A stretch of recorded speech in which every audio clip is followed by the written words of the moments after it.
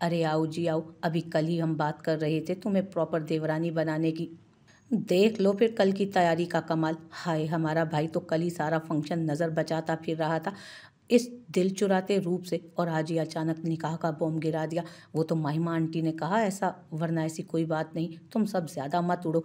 महिमा आंटी ने कहा तो तुम इनकार कर देती या तुम्हारे वो इनकार कर देते? खबरदार जो मुझे ऐसे तुम्हारे वो तुम्हारे वो बोल के तंग किया। उसको जायशा की हालत अब समझ में आ रही थी। कैसे कल से उन्होंने उसको ऐसे जुमलेबाजियों से तंग किया था?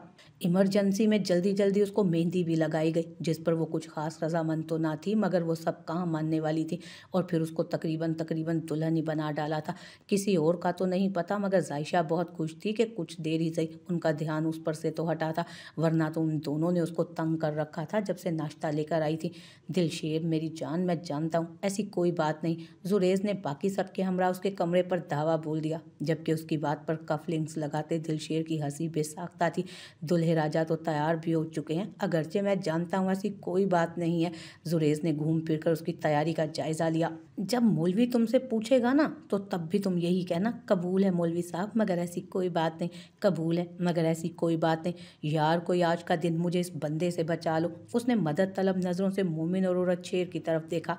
अब हम भी जुरेज के साथ हैं। तुम अचानक जब दिल करता है, कोई ना कोई बयान जारी कर देते हो। अरे भाई, हमें भी तो दम लेने दो। मोमिन, तुम तो खैर ये बात ना ही करो। तुमसे और उरत शेर से बड़ा बम तो किसी और ने गिराया ही नहीं अब तक। हम सब पर उसने पलट कर आईने की तरफ़ रुख करते ब्रश उठाकर बालों को मजीद सेट किया। भाई एल्फी लगा के देख ले, शायद बात बन जाए। उरत शेर ने उसके बने बाल सेट करते उसे देख कर तंज किया। मजाल है वो बंदा नफासत पसंदी में ज़रा फ़र्क आने दे। ये एल्फी ना तो अपने दिमाग में डाल के देख, शायद शैतानी मंसूबे कुछ टाइम के लिए मुंजमिद हो जाए। दिल शेर ने ब्रश वापस रखते टका सा जवाब दिया, बकवास सुन लो। बस। ज़रा जो बड़े भाई का लिहाज कर लो तुम उरद शेर ने उसको घूरा। ओ भाई, मेरे कोई चंद मिनटों का फ़र्क होगा तुमसे। और बड़े को क्या? तुम कोई हज़ार साल पहले आए थे इस दुनिया में? मैंने बहुत लोगों की ठुकाई की है, लेकिन कभी किसी दुल्हे की फैंटी नहीं लगाई। उसने पुरसोच अंदाज में कहा यह गुंडागर्दी ना तुम लोग आपस में ही रखो, मुझे बिल्कुल पसंद नहीं ये सब, और ना मैं तुम लोगों के साथ मिलकर भाई की फैंटी लगाऊँगा। तुम्हें शर्म आनी चाहिए उरत शेर, वो हमारे बड़े भाई हैं। दिल शेर ने उसको समझाना चाह, मैं तेरी बात कर रहा हूँ, गधे। उरत शेर ने उसको खा जाने वाली नज़रों से देखा, दफ़ा हो जाओ तुम लोग, यहाँ से मवाली कहीं के। जब देखो लड़ाई झगड़े की बातें करते रहते हो, बंदा देखते क्या तुम्हारे हाथ में खारिश होने लगती है। ऐसे ही नोक झोंक में वो बैंकुट पहुँचे। जबकि औरत शेर चूँकि अभी रेडी नहीं था, उसके कपड़े वगैरह शायद ईशल साथ ले गई थी। इसलिए वो सीधा फार्म हाउस ही गया कि चेंज करके जाएगा। जायशा पर टूप कर रूप आया था। शायद अपने हम सफ़र की हसीन रफाकत का एजाज़ था कि वो देखने वालों को पहले से भी ज़्यादा खिली खिली दिखाई दे रही थी। वो सभी तकरीबन रेडी थी। बस वेट कर रही थी कि उनके मिस्टर कब उन्हें लेने आए। गाड़ी के हॉर्न पर ईशल जल्दी से बालकनी की तरफ़ बढ़ी, जिस पर वो सब एक दूसरे को देख कर मुस्कुरा दी। वो सामने उसको गाड़ी से निकलता दिखाई दिया। शुक्र था उसको याद तो आया था घर की। कुछ ही देर बाद मोमिन और जुरेज आगे पीछे मिराल और मिनहल को लेने आ पहुँचे। मिनहल ने हनी को भी साथ ही ले लिया था कि निकाह की रस्म पहले होनी थी। ईशल जायशा को कंपनी दे रही थी। मैं ठीक हूँ, तुम जाओ, औरत को देखो। रेडी हो गया है वो या नहीं? जायशा ने उसको कमरे में भेजने के मकसद से उठाना चाह। वो जाए या ना जाए वाली कैफियत में बैठी थी। कुछ लोग वक्त की तरह एक बार हाथ से निकल जाएँ तो कभी वापस नहीं मिलते। वो रूठा है तो उसे मना लो, कहीं फिर बैठ के पछताती ना रह जाना।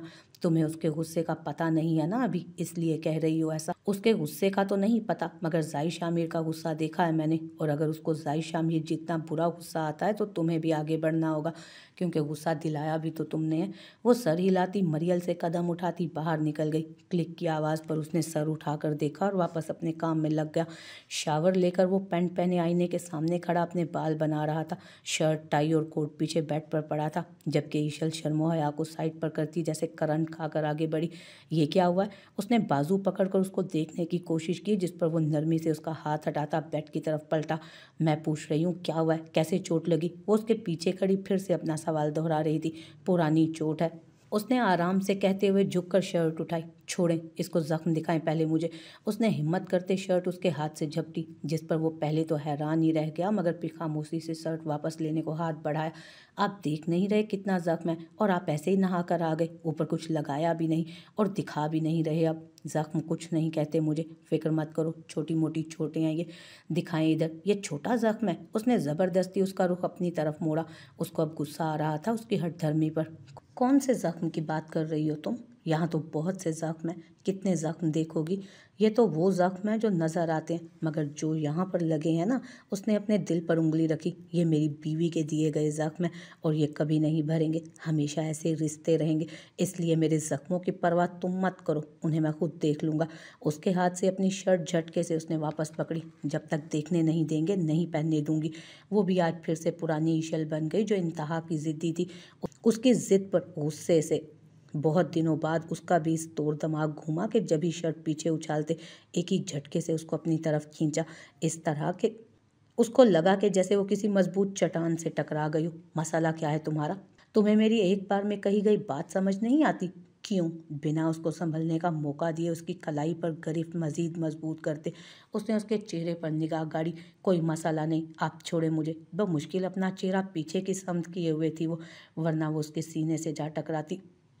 छोड़ दूँगा। बेफिक्र रहो। ये मुश्किल भी आसान कर दूँगा। जल्दी। उसकी कलाई आज़ाद करते वो दूर हुआ।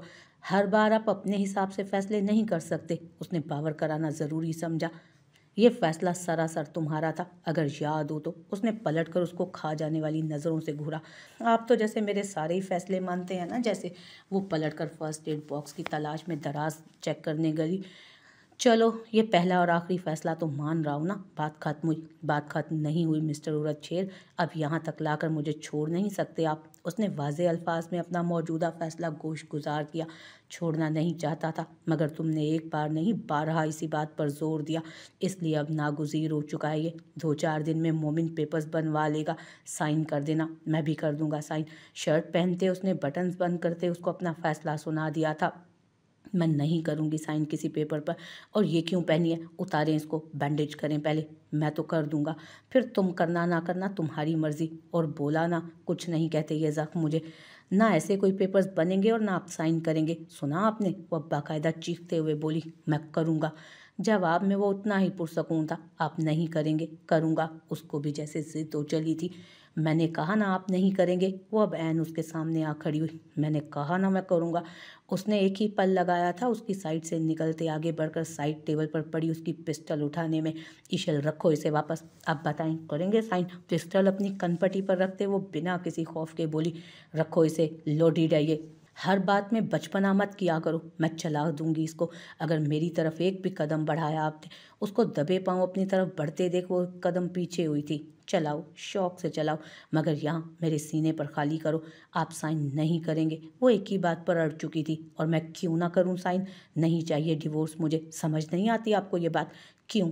अब दम नहीं घुटता तुम्हारा मेरे साथ। क्यों कर काबिल कबूल हो गया हूँ मैं तुम्हारी नज़र में? सिर्फ़ उसे एक बात के पता चलने से। क्योंकि वैसे तो मैं तुम्हारे लिए सबसे नापसंदीदा तरीन इंसान हूँ। मुझमें ऐसा कुछ है ही नहीं कि तुम मेरे साथ कॉम्प्रोमाइज़ करने के लिए राज़ी हो जाती। इस काबिल भी नहीं था मैं कि तुम मुझे एक चांस भी नहीं देना चाहती थी। याद है ना तुम्हें? जहाँ मैं सांस लेता हूँ ना, तुम वहाँ सांस भी नहीं लेना चाहती थी। अगर वो सच सामने ना आता, तब क्या करती तुम? वही करती जो तुमने किया। और मैं चाहता भी नहीं कि तुम मेरे साथ इतात गुजारी करते, ज़िंदगी गुजारो, क्योंकि इस ताबेदारी से वो नफ़रत बेहतर है जो तुम्हें मुझसे है, क्योंकि वो तुम दिल से करती हो। ये मुलम्मा साजी और दिखावे की फ़िक्रें मत करो। ना मैं सबका आदि हूँ और ना मेरी आदतें बिगाड़ो तुम। इधर दो, ये मुझे बच्चों का खेल नहीं है ये। उसने आगे बढ़कर पिस्टल पकड़ना चाहिए जब ही उसने फायर कर दिया। पुरसकून माहौल में ठा की आवाज़ दूर तक सुनाई दी, जिसके नतीजे में जायशा बमुश्किल अपने हैवी ड्रेस को संभालते कमरे से बाहर आई और उधर से ज़ाहिर जो उसे लेने आया था, वो भी भागता हुआ अंदर दाखिल हुआ। ऊपर कौन है? उसने जल्दी से अपनी पिस्टल निकाली। वो औरत शेर और रीशल जायशा से मारे घबराहट के बोला भी नहीं जा रहा था। ज़ाहिर पिस्टल वापस रखता हुआ सीढ़ियों की तरफ़ भागा उरत शेर दरवाज़ा खोलो। सब ठीक है ना? गोली किसने चलाई? बाहर आओ। उसने धड़ धड़ दरवाज़ा बजाया। उरत शेर बोलो कुछ। ईशल, क्या हुआ है अंदर? दरवाज़ा खोलो। जायशा अमीर की आवाज़ पर उरत शेर ने उसको देखा, जो आँखें नीचे कानों पर हाथ रखे। उसके हिसार में खड़ी काँप रही थी कि ट्रिगर तो वो दबा चुकी थी, मगर इस कदर करीब से गोली की आवाज़ सुनकर ही उसका दम निकलने वाला हो गया था। अगर वो फुर्ती से काम लेते, उसका हाथ पकड़कर ऊपर ना करता तो मैडम अब तक अल्लाह को प्यारी हो चुकी होती। मैं ठीक हूँ भाई, सब ठीक है, वो बस मैं पिस्टल चेक कर रहा था तो कुछ प्रॉब्लम हो गया था उसमें। उसने जल्दी से पिस्टल पेंट में उड़स से बिना दरवाज़ा खोले, उसकी तसल्ली के लिए जल्दी से बात बनाई। हद है औरत शेर कमरे में बैठकर ख़राब पिस्टल चेक कर रहे हो। वाह, तुम्हारा जवाब नहीं। अगर कोई नुकसान हो जाता, उसको यकदम गुस्सा चढ़ाता उसकी कमकली पर। सॉरी भाई, आइंदा एहतियात करूँगा। इस मैडम को खुद से, उस मैडम को खुद से अलग करते वो अब अपनी टाई की नोट लगा रहा था। जल्दी आओ, मैं जायशा को लेकर जा रहा हूँ। फ़ौरन पहुँचो। पहले दिलशेर का निकाह होगा। उसको इन्फॉर्म करते वो वापस पलट गया। उसको इन्फॉर्म करता वो वापस पलट गया था। क्या हुआ? सब खैरियत है ना? वो मुस्तरब सी वहीं उसकी खड़ी मुन, वो मुस्तरब सी वहीं खड़ी उसकी मुंतज़र थी। सब ठीक है, बस ये लड़का और इसके उल्टे काम। आप परेशान ना हो। उसके दोनों हाथ अपने हाथों में लेकर लबों से लगाते उसको तसल्ली देने लगा। ज़ाहिर उनके दरमियान सब ठीक होगा ना? उसके साथ सहज सहज कर कदम उठाते उसने सवाल किया, जिसमें फ़िक्र वाज नज़र आ रही थी। दोनों का मिजाज तकरीबन एक जैसा है। एक ज़िद्दी है तो दूसरे का गुस्सा इंतहा का। पहले वो सुन रहा था तो ईशल को समझ नहीं आ रही थी। अब जब वो समझी है तो अब वो कुछ सुनने को तैयार नहीं। मुश्किल ही है कि मान जाए। अगर अड़ जाए तो सामने वाले से जब तक नाक से लकीरें ना निकलवाए, मानेगा नहीं। और यहाँ तो वो है भी हक पर। वो कहता है, उसने सब बर्दाश्त किया। उसका गुस्सा, उसकी ज़िद, उसकी हट धर्मी और वो बातें भी जो कोई गया गुजरा शोर भी बर्दाश्त नहीं करता। मगर इस सब के बदले में यही कोशिश की कि किसी तरह ही सही, मगर वो नॉर्मल हो जाए। उसकी हर बात, चाहे उसने नाजायज़ कही या जायज़ कही मैंने मानी सिर्फ़ इसलिए कि उसे छोड़ नहीं सकता। उसके अलावा बाकी हर बात मानूँगा। ईशल ने कहा, घर छोड़ दो। वो चला गया, मगर उसके बावजूद उसने फिर वही बेवकूफ़ी की कि उसे तलाक चाहिए। अब वो अड़ गया। देखो, अब कुछ तो करेंगे, जिससे उनके दरमियान मफाहमत की कोई राह निकल सके कोई। हानिया मुर्तज़ा बिनते मुर्तज़ा। अली आपको बाईवस पच्चीस लाख रुपए हक में सिक्का राय जुलवा। दिल शेर एहान, वल्द एहान आसिफ के निकाह में दिया जाता है। क्या आपको कबूल है ये निकाह? दिल शेर एहान से होने वाले पहले टकराव से लेकर अब तक के पल उसकी आँखों के सामने किसी फ़िल्म की मानी चलने लगे।